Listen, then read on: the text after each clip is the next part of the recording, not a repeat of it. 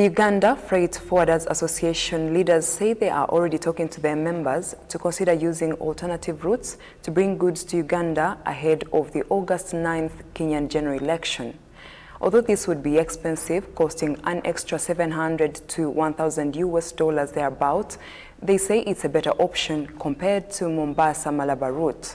Well, the countdown is on for the Kenyan election, and we hope not to see what happened in 2017, I mean the post-election violence. Welcome to the Business Show. My name is Viola Sassia. Let's now take a look at some of the stories that made the Business Week. SMEs to access affordable financing through a new platform launched. Microsoft earnings fall short as computer sales sag. Government plans to cut out middlemen for fuel importation. KQ, South Africa carrier signed code share deal. And Kenya drops from list of top 10 UN suppliers. Once again, welcome to the Business Show. Now, running a business through such turbulent times can be very difficult, but this also helps to draw a yardstick between people working with passion and those that actually have the skills for doing business. These people are also very different from people whose core goal to do business is to make profits. Now, despite high fuel prices that have seen business operations get very difficult, seasoned business owners say that focusing on delivering to your clients and focusing entirely on their needs could actually help you post returns. Tonight on Views from the Top, Prudence Okonika, the founder of Bella Wine, shares with us what you can do as a business owner in order to survive this turbulence.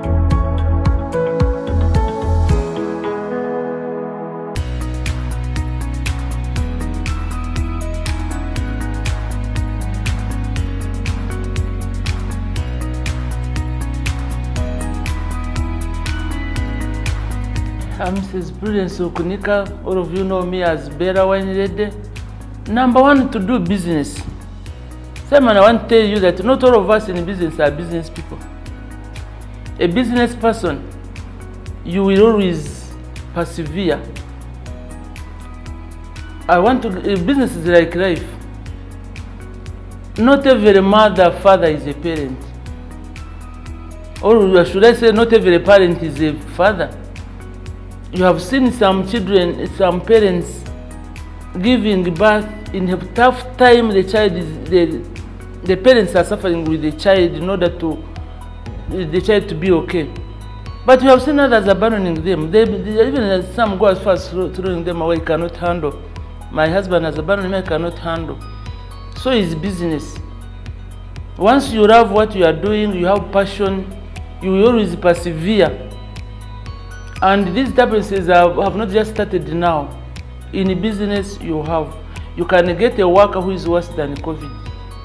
In, you can get a worker who can give you hard time more than this fuel, which is so. What do you do in such a times? You, you look for a solution definitely, but you don't give up it doesn't mean that business you have to get money all the time. You have to work on profits. That's why I'm just coming from Uganda Revenue Authority. For the last 18 years I was paying them tax, but now it is hard because we are operating on losses. We don't want to close. I give a very good example, like in Karamoja. There are those who are, not everybody in Karamoja is dying. There are those who have granaries. So they are now they are eating from granaries.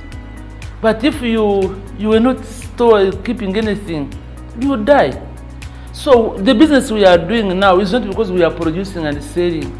We are just getting from our granaries. Bella is supposed to be global.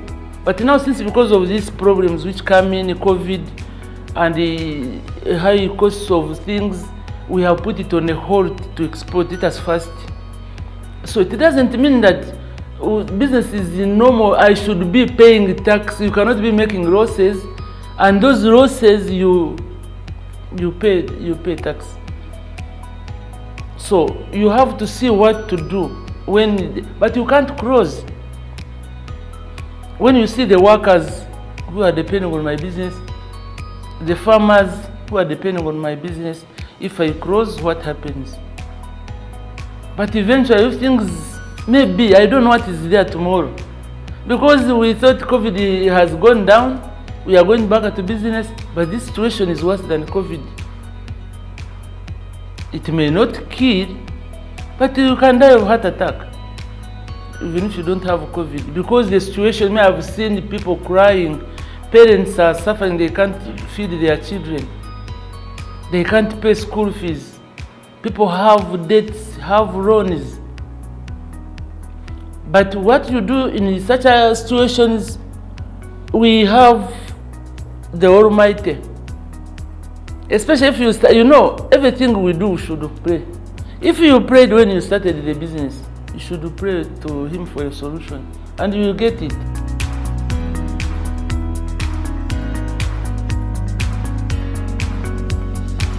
There is a, uh, we are diff- not everyone doing business is a businessman. Because if you have you you are a business person you should do, know your customers. Because those are your kings. You cannot do custom you cannot do business without your customer. Now how can you be there without knowing your customer? People think you it, doing business is having money. When you have money you start business. Like now very many you say ah there's a lot of, of money in, in wine that lady has made money in wine. Let us let me invest. He has his billion he puts it in he goes back at where he works. Then he puts in people. But are those people you have put in business people will they think how can uh, how how the business can survive? Because if it is me my uh, me the owner of the business i have to know who is my customer. I have to have the i have to be in touch with them they, they are part of us they have to understand what is happening with us they have because now there is no problem which is let me say that it is in Kampala alone. The, these tough problems we have been having. In fact, fuel is worse up country. So you talk them away, you communicate, then you see a way forward, which is, if I am not the owner of the business, will not to do. If you somebody has just put people to work for you in the business and you let them to do those things they don't, but you, me as the owner of the business, I have to be in touch with my customers because those are that's how the, the business is is me and the customers. Without customers, it is not a business. That is the heart of the business. And I respect my customers so much because they are the ones who are building the business. But people, some people, those whom I say they are not business people, we see a, a customer as a source of, of, of, of income. That's not true. That's part of they are stakeholders of the business. Once they say we are not taking your product, however good it is, that is the end.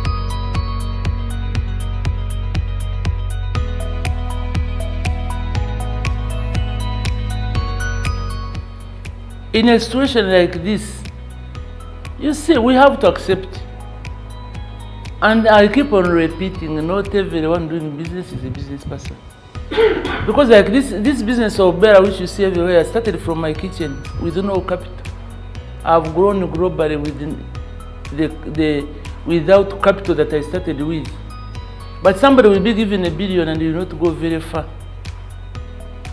So, in a situation like this, where things are not moving, then you want to live a normal life the way it was. You are you are finished. If you say now ah, things are not moving, maybe if I add, if I go and get money, I add in this as things are solving. You have added problems to yourself. So, sell what you have. I repeat again. I want my uh, the viewers to, to from today know not everyone doing business is a business person. We business people don't look at money. We look at the growth of our business.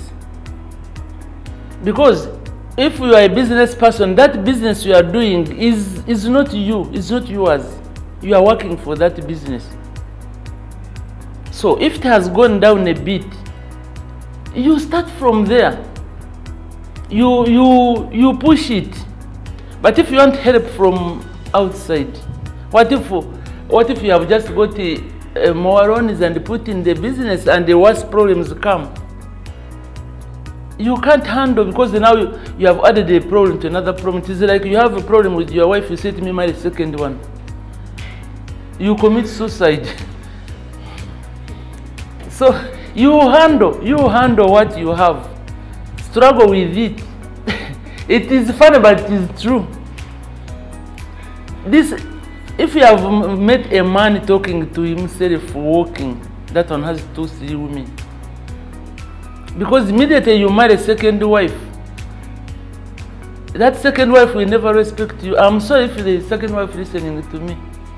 If you don't, if you respect your husband, good. Because I look at you, Simon, with your wife, children, you wedded, attend the wedding. After 10 years, you want the second one. This second one will put a question mark. What, what am I going to give Simon, which this family, Ravre family did not give? He has gone berserk if he cannot see the gift he has. Going for meat means tomorrow he's going for the third one. So no respect. She will eat what she can eat. So in the business, when you have challenges, solve those challenges. Don't add more problems by going to get more money, borrowing more money to put in. If you have to go very far, sell your TV, put it in your business. If your products are not moving properly and you really need money, sell some of your properties, sell one of your land, go. Because tomorrow you are going to sell these properties, going to pay that loan.